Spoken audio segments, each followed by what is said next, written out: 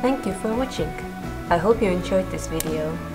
Please leave a like if you liked and don't forget to check out my channel for more time-lapse videos just like this one. See you next time!